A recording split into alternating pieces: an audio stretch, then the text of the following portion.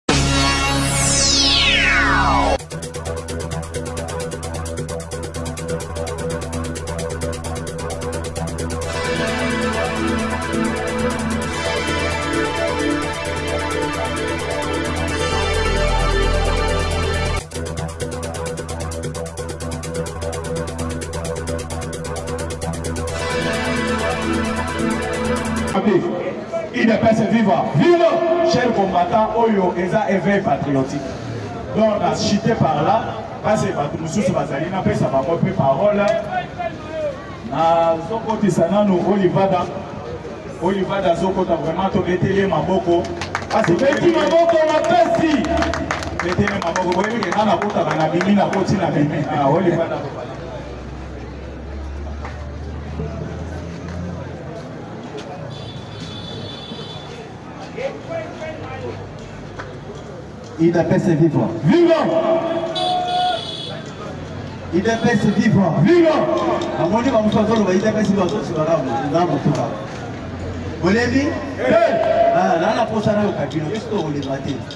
Nous nous sommes des parlementaires du coup. Ata lingene moi ebeti moi ebeti biso tozaka wana. Vita Pese Viva. Viva. Fatime. Beton. Bonjour à tous. Bonjour.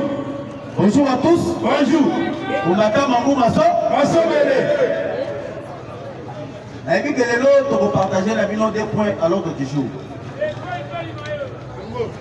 Nakotalisa bino ndenge bawazalendo bakotaki na Kimirizi bake bombarde oyo etali base ya ba M23 eza boye sofongo na base oyo ya ba M23 nazali koyebisa bino bakuti mpe na bapolonais na kati na bafrançais na kati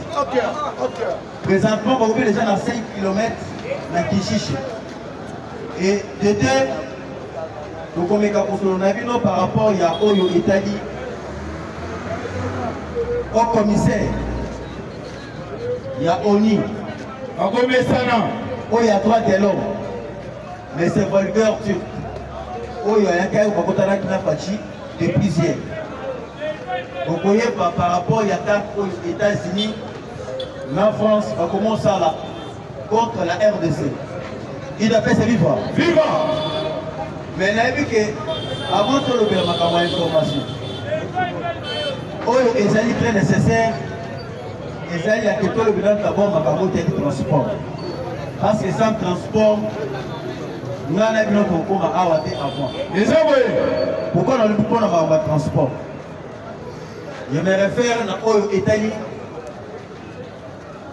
directeur général ya Transco. Chef de l'État adotaki déjà wana presque 500 transports mpo na ville ya Kinshasa. Maintenant subitement toye kocomprendre que société ya Transco ekomi okufa sans que rendement ekota na kese ya l'État. Oh, miyibi. Miyibi. Moni bato bakochange Congo selibaka Fatshi moko. Ko Congo ekende na avancement ya changement esengeli mpe biso Congolais tosimba Fatshi tolandi vision Fatshi. Eza boye. Soki ke na kati ya bato bazolinga toujours akende mbongo ebimi badetourne. Bozala boye bazosala te, ça sera toujours difficile. Qu'est-ce que je vais dire? Awa nasali koyebisa bino mafia ekoti na kati ya Pasco. Soki okei na hotel depuis Pasco ebanda kotelema mais jusqu'à présent ezali kotelema lisusu. Soki okei na Kingasani, Pasco eza lisusu te. Et en plus bato ya Pasco bakomi obeta ba demi terrain. Bato ya Pasco bakomi otya prix ya Pasco ekomi 2000 francs. ekomi système nini eza monde oyo bazali koopere na kati ya transco ekomisi se maintenant bachef soki babimisi tike officiel ya kino bozwa batike bokende koteka bachef wana baa na kati wana basali kope na bango babisi tike moko en fraude bapesi te tike en fraude bakomi oteka batike wana en fraude soki tike wana esili nde babadeli mina tike ya leta ekomi à chaque arrêt bazotika mbongo ya bachef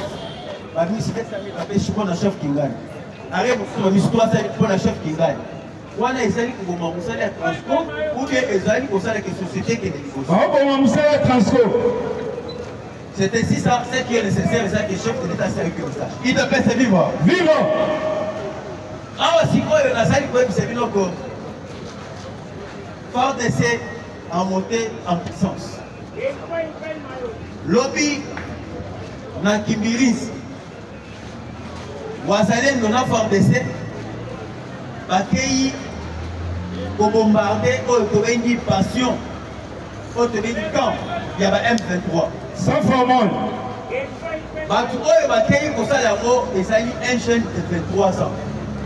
Il s'appelle au nom de Messi Achille. Il te pèse vivre. Viva! Messi Achille azali jeune wa Salendo na 23 ans. Ye moko akei koboma plus ou moins 4 généraux rwandais. Betelo maboko makasi fort des. Nake colonel. Kito pesa vivo. Vivo. Betelo wasalendo maboko makasi. Na kimilisi babobi quatre généraux rwandais et aussi des colonels, ce qui fait six officiers supérieurs ya Rwanda. Tango babobi bango ba percer jusqu'à kokota ti la Kabanda. Kabanda ezali déjà 5 km. Kibiriza ezali deja 5 km na Kabanda. Presentement baza na Kabanda et maintenant bazali ko se préparer pour bakende na Wibi. Wazelendo alobi tozali determine ya kokota na Wibi. Après Wibi boyeba deja ke bitumba ekosila te tokota na Bunaga. Wenda idepesi viva viva. Maintenant omoni pourquoi na ngambo ya FARDC tokomolonga ba ennemis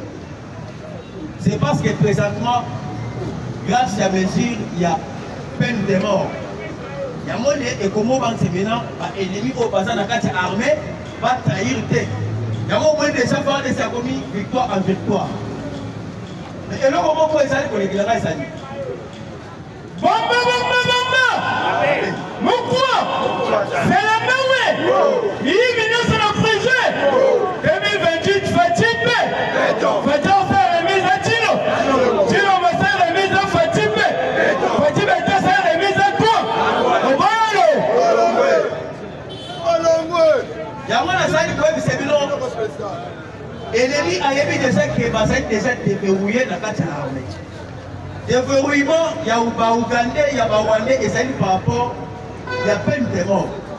Omoni makambo ya peine de mort ça ne concerne pas les Congolais. Ezali ko concerner ba traite baza na kati ya armée. Pourquoi? Bitumba ya Est oyo ozomona wana jamais ennemi atikala kokota boye na masasi na fardc baza yo charge masasi oyo abeti oyo abeti bazonti bakanye fardc te bitumba ya est ezali koleka par rapport ya traitise na trahison na kati ya armée Eza boye, je vous donne exemple par rapport ya Bunagana. Est-ce que Bunagana ya yi échange entre FARDC na na na M23? Babunda te.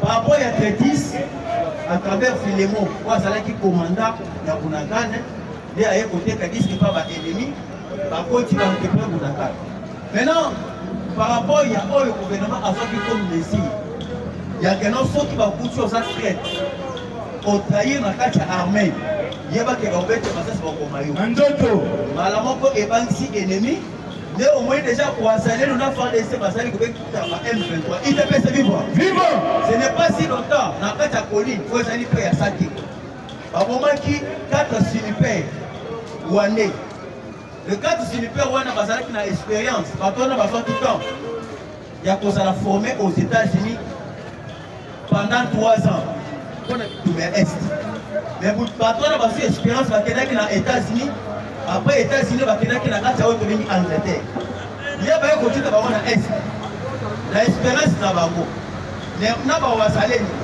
façon ba ke ko beta bango na ba colline wana je vous dis que wazalendo bazali très fort il te pèse viva viva mais le présentement RDC a koki na makasi na kati ya awa maintenant que fait la communauté internationale oyoki batindi oyo tobengi o commissaire ya droit de l'homme mais c'est volker tu lobi ils ont échangé avec le chef de l'état pendant oyo tobengi deux heures de temps avant koyamba ye faci ayambaki ambassadeur alexis antebov ya russie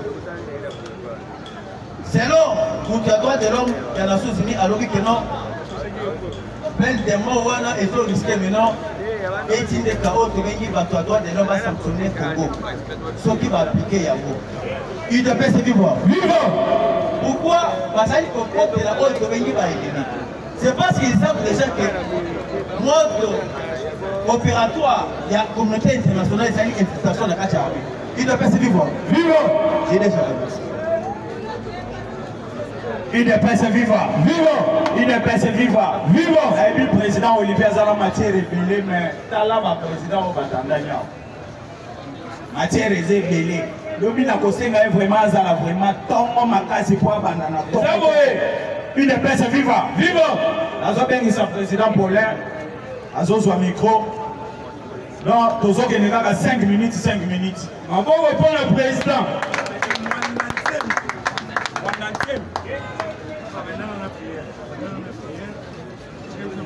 IDPS viva! Viva! Fatima! Beton! Beton, beton, beton, beton! Beton! Nazoyoka te.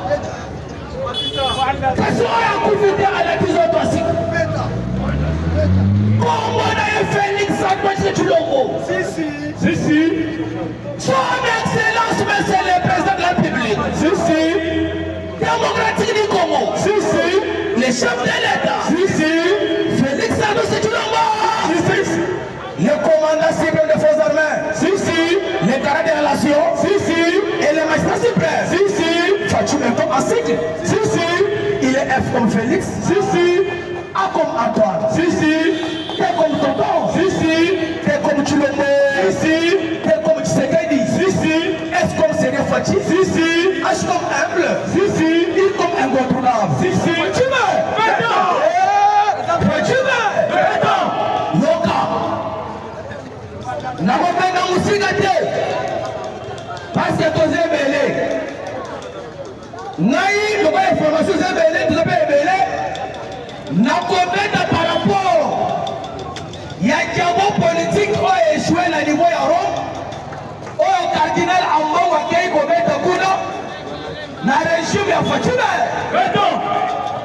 pourquoi bomoni papa change note apostolique Oyo aye na Congo aye kosala nini? Nini? Parce que Monsieur Ambongo elle akei na Rome akei ko diaboliser pape mpo ba défendre côté Kabila bon ba défendre ba kabiliste parce que bayebi bien que avec Non, Kabila na batu na ye nionso makambo oyo basali na Congo bakokangama pe bakoboma bango. Eza boye. Ake ko diaboliser na diabo oyo bango ba diaboliser pap gouvernement congolais bango pe bavandi te batindi mwana batindi pe ba envoyer na niveau ya Rome bakende pe ko defendre Gouvernement na biso na liko kuna. Et le papa a comprendre ko solo que monsieur Ambongo na Congo aza pasteur te kasi aza politicien pe kabisa munene. Munene. Bamba bamba bamba. Mokwa. Sela mawe. Liye bino sala prison.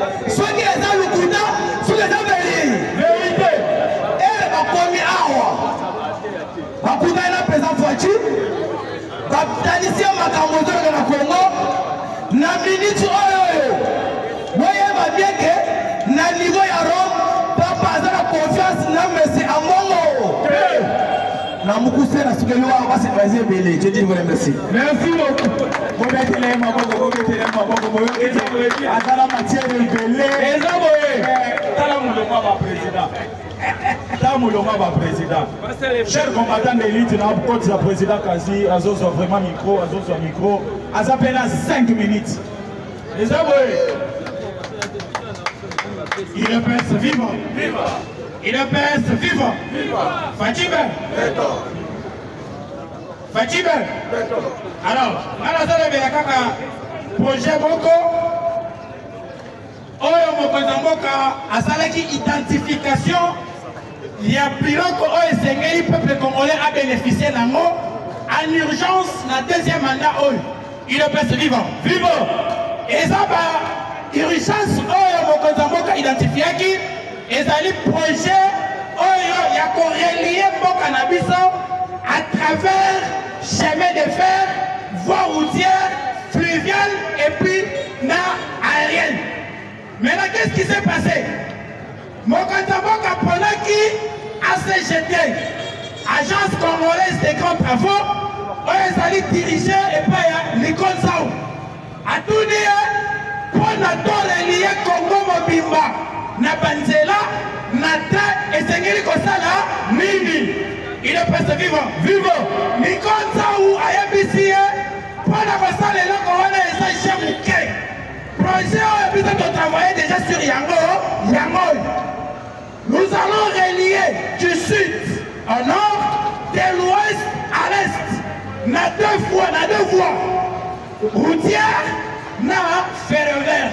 Mokonzi alobi oyo nde biloko nasalaka nini nalingaka Oyebi heure masango ezowuta est ekeyi ouest ewuti sud eke nord c'est-à-dire biloko kolia ekozanga te na kati ya mboka na biso mpo baproduction wana ezali boye to boye te lokola mokonzi asepeli na ide wana na projet ya acgt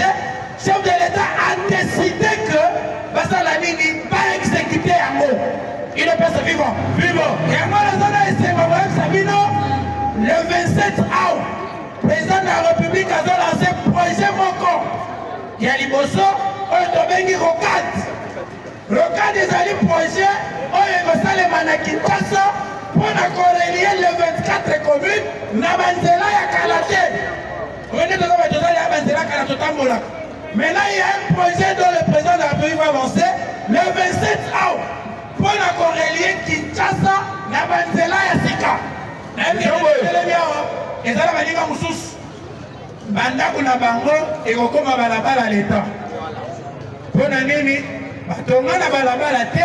Mais leta amoni ke place ndako na yo ezali esengeli nzela eleka mpo na interet general. Azosela bino mbongo. Il est passé vivant. Vivant. Akozongisa bambongo bokoluka ba place mosusu. D'ailleurs, Kinshasa ya sika ezotongama na maluku. Wana nyonso projet kaka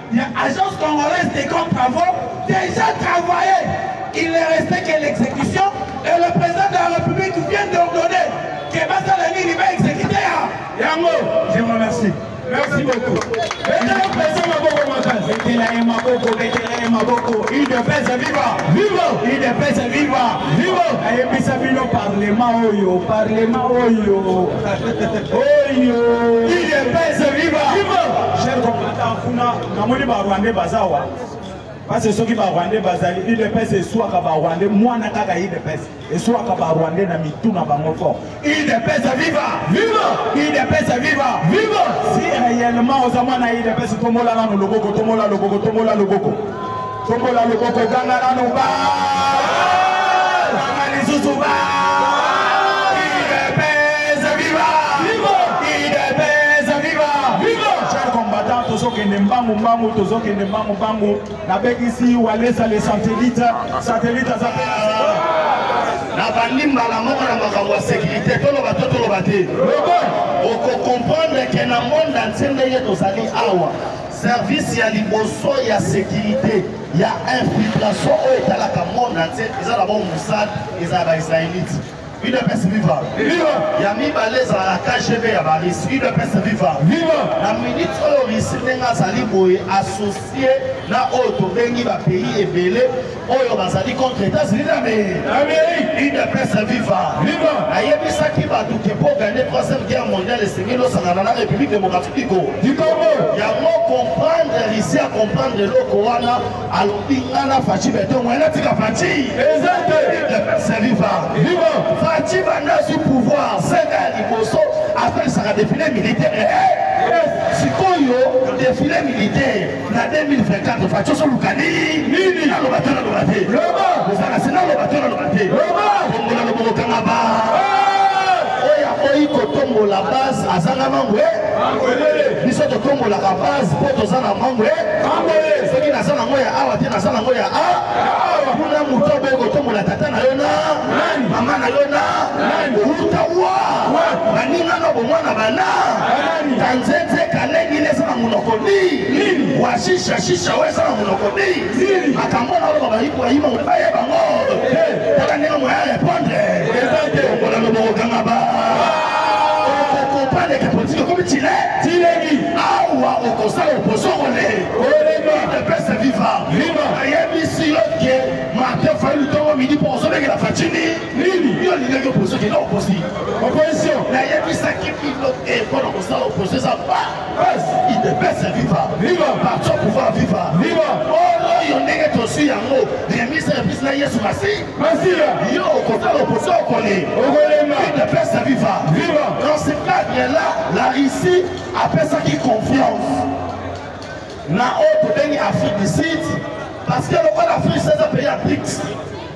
lokola afrique eza deuxième puissance militaire na niveau ya afrique il fallait makuza mpe ezoya na république démocratique du congo eleka par afrique du sud lorsque les américains batimeli yango babeni cyril ramafosa na rwanda ye babandi obeta na ye masolo ale awa tozoloba awa c'est depuis semaine oyo tikoleka ya des missiles des armes oyo Etats-Unis aza kokitisa na niveau ya Ouganda. Yango bo comprenaki te. Pourquoi bo mitunaka te? Rebellion ya M23 lorsque bandi ebandi na frontière na biso na Rwanda te, ebandi na frontière na biso na Ouganda na niveau ya Bunagana. Bongo to bongo te. Cela veut dire quoi? Na Ouganda na Rwanda basa eloko moko nde basalaki tubangale Burundi na kati. Yango te tosala 17 ans, non 15 ans. Oyo ambassade na biso na Burundi ezalaki te. Vous savez pourquoi? Parce que Hippolyte Kanambe Kazemere na plan na bango oyo ezalaki ya Rwanda, Uganda, Burundi, Burundi a se retiraki. Parce que lokola Afrique du Sud aza parmi ba pays oyo ya SADC. Lorsqu'on a demandé aide na SADC, trois pays nde moto erepondaki favorablement Wana Afrique du Sud, Tanzanie et puis na Malawi. Or na bango misato wana pays oyo tokotyela motema c'est l'Afrique du Sud. Sikoyo bango bakomprenaki te. Lorsque bango babengi Afrique du Sud epai na bango bamenase présence sud-africaine na nini? Depuis ANC azo pouvoir na Afrique du Sud alowa idps atika pouvoir eh? sikoyo baancien président nyonso oyo baleka bato ya nc mutu azokamba parti mutu azokotsa kuna eza ancien président babengi tabu mbeki alobi clairement alobi boye ayebisi cyril ramaphosa il faut to retire batroupe na biso na rdc soki to retire batroupe na biso te toliske bokonzi ekende Or, entre Etats, na osa bino verite aujourd'hui, la relation internationale entre Etats et l'autre pour la raison d'intérêt. Yao na kamwaka, ba Congo ba beta ba merke maboko nani? Ba merke ba ya na deuxième guerre mondiale. Ba sui awa iranium na shikolobo. Nde loko sali ke ba longa deuxième guerre mondiale. Les enjeux na minute oyo eza troisième guerre mondiale. Or, oyo ya kozala na contrôle ya RDC nde moto akoganye troisième guerre mondiale. Sikoyo soki oyo akoganye troisième guerre mondiale ezali RDC, yo soki oza congolais okosoutenir Fatshi te mpo na nini? omwana siko idepeselifa libo tombola na loboko facamona tombola maboko mibale tombola maboko mibale facamona zwelanga ala tombola maboko ya so omoni kotelema wa tombola maboko so tombola tiki longwa wa deja tombola maboko mibale idepeselifa libo facipe beto nyonso tosala yango pourkoi parce que congolais fa vivre kitoko il faut tobénéficie na biloko na biso Or, bisika tu minerais ezali bandaki na oyiba, boyebi yango? Eh, eh. bisika tu minerais ezali bandaki na osali nini? Oyiba. Mpo na nini na babanke bachangeaka basystème ya sécurité tout le temps? Mpo na nini? Parce que place eloko ezali bandaki na osali nakosi te bisika tu sécurité eloko ezalaki na oyi oyiba yango moni na kala na poligone ya miba mondele asala koti asala koti eh.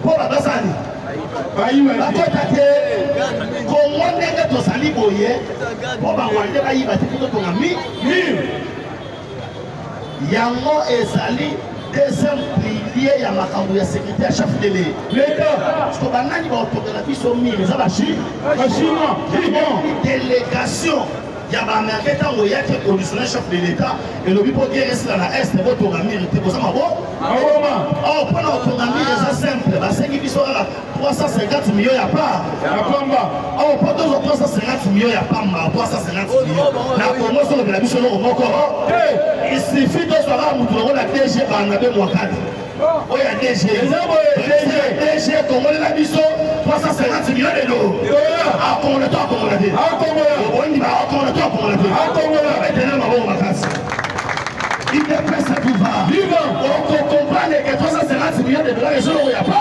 konga boko to kongo te owe ba tozo 350 millions to tonga clôture ah bazo banga bazo banga nini oyoki cordon outi koloba awa eza na eloko eza na carte abenga opise asali lokola kasimi na yo aza na kati ya carte abenga opise pise wana na société oyo idemia ezali piratable te Bus wana ekolakisa na biloko liaka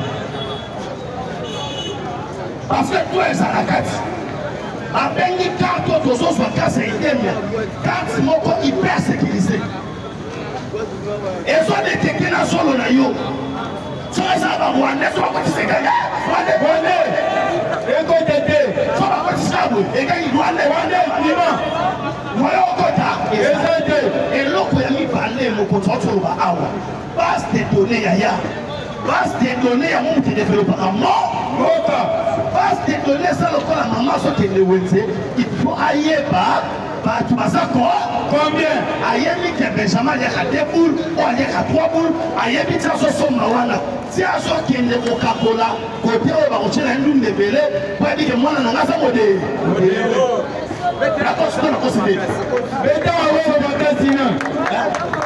ayebi ke mwana nanga mode modero ti azokakola mama na yo maya batikakolaka mingi azokakola mingi mpo bana na ye baliaka mingi mingi il de pese viva viva or un pays ne peut pas se développer soki toyebi nombre oyo tozalaka te eza lokola tozotambola melamba ya kokanga na mi ordina na libulu na libulu sofati aye Parce que Kabila tse tika biso sa carte d'identité ayebaka boyebi mpo na nini mpo moye toyebana eza te omona botelemi awa na oyeba oza kongole na nini mpo oyo balingaka chiluba swahili yo bamande bayebi te idepesa viva viva kamera alobaka onyo nyonso nalobi na kamera alobaka onyo nyonso elingi koloba te ke soko oyebi lingala na ciluba swahili ngai nasala confiance bakima balobaka ekenge lu kenge luta eh.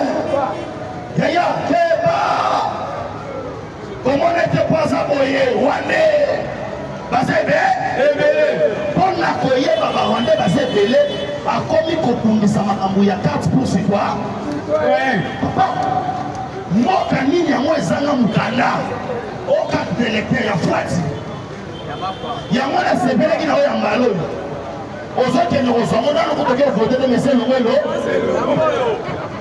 ozomituna ye to ye te kati omekomi boye pase ya sita otinao na lavage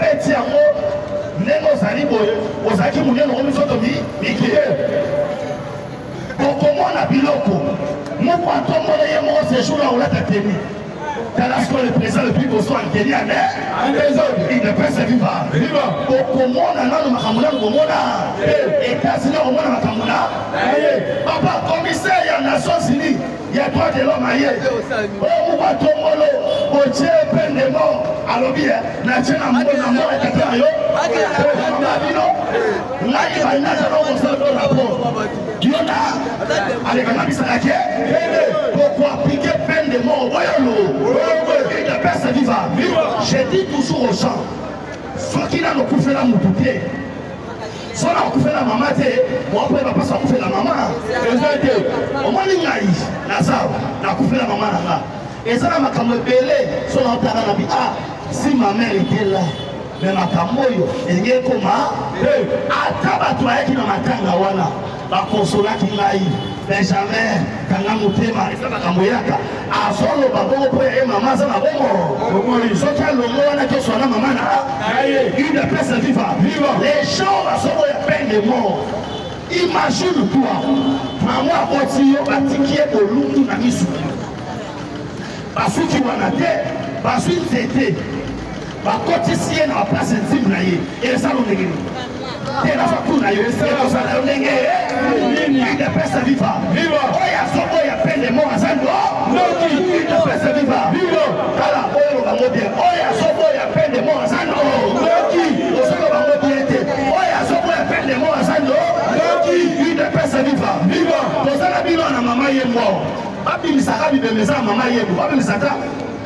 Kimi bende bata na ona veni commerce akosali somo na babasali kima omoni avant loba likambo banda ko imaginer bata na la sambi bembe awo aveni ni commerce oyo eza na bato so obeta 3 jours aleka ata so balongoli yango nakosi mais au Congo il y a eu plus de 20 millions de morts je répète bien 20 millions de morts yaya omoni na gouvernement ezobima oyo aye na biso loyenge o oh, ministre oyo oh, nani kokanga ye totumi ye te laki te nalobi boye vipasi oyo bakongole bazobona vipasi oyo bakongole bamona lorsqu'on met la loi sur peine de mort yo soki yango soki oza ndoki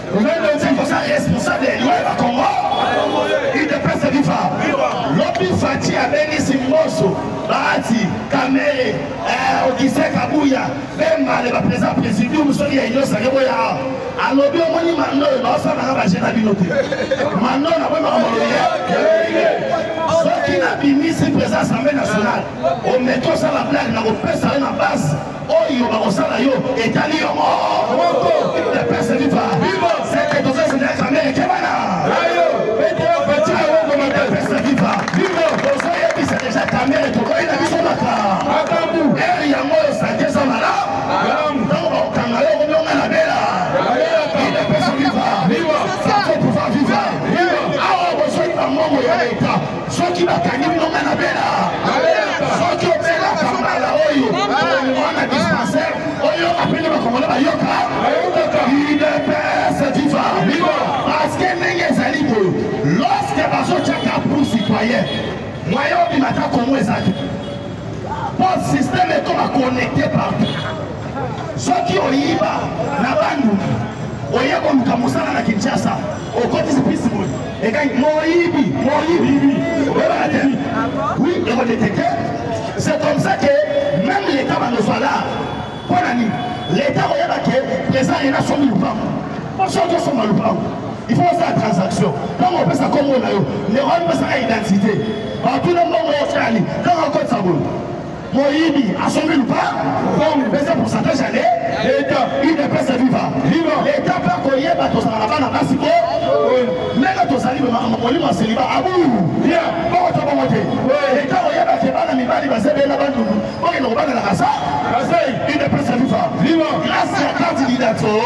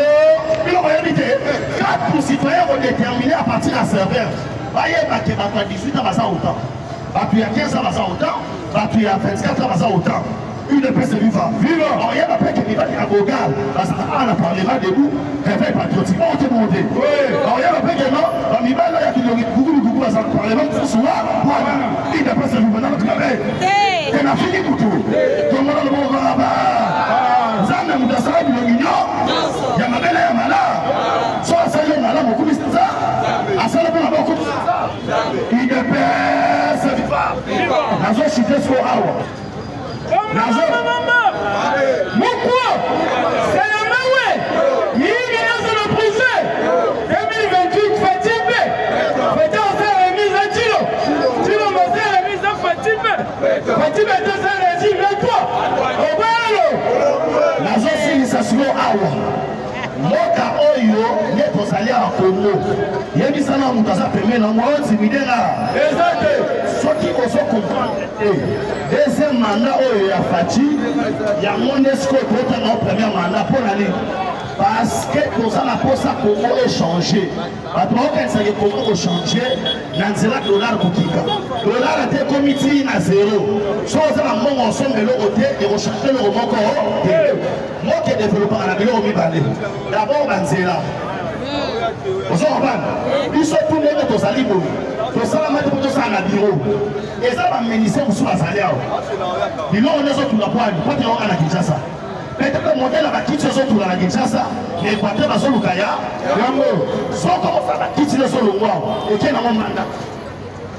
Est-ce que ça poso on vient du bureau? Au mode de développement na ba auto pays ba initiative privée. Moi ma tumu le longo koto yo ajo tika koto. Pour éteindre le longo koto ajo tika koto. Na chipia na saka scandaliser pour moi na boma.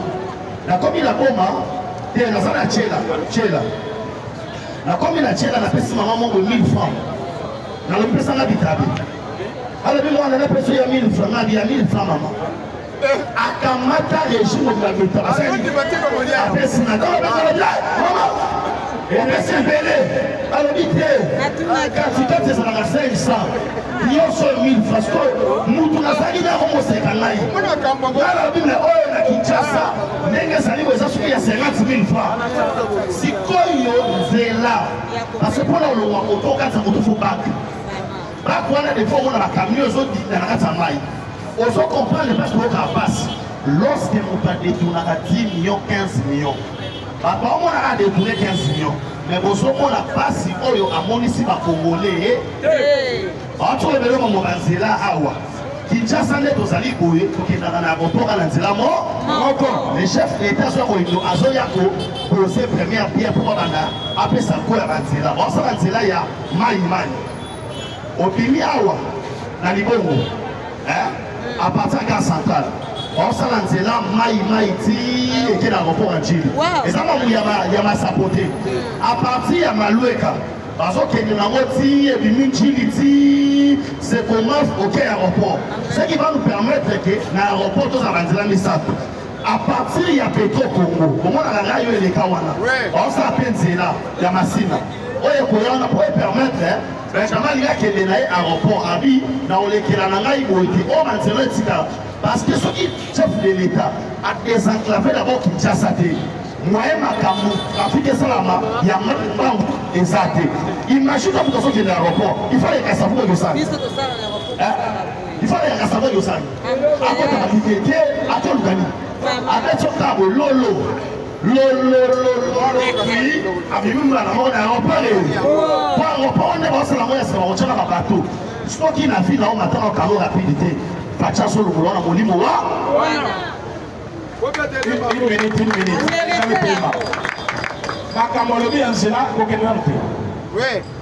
Est-ce que boyebi ke polongo awa ti aéroport tobetaka ba 2 heures 3 heures du temps banzela efaci azosala mpo na aéroport na biso ekozala 3 azolanse yango dans ce mois mbongo ya kodefa te mbongo ya kozela te mbongo wana eza deja na ba na banke bobetela faci maboko di c'est-à-dire mbongo eza na banke Nayebisa bino kote mbongwana euti naloba fongola kaka baza kontra ya mabe ezokufa kontra ya mabe oyo kabila shina rambo nde kobengaka ino kontra siyaki na bachinois ezalaki koprofite na biso bakongole te depuis kofacha ye alobi barevoir kontra wana na bachinois